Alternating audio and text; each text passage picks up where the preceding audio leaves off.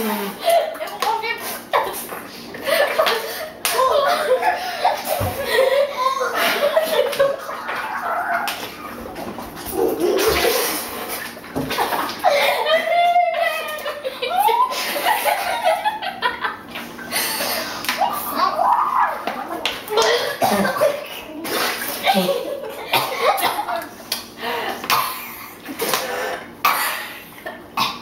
think I puked.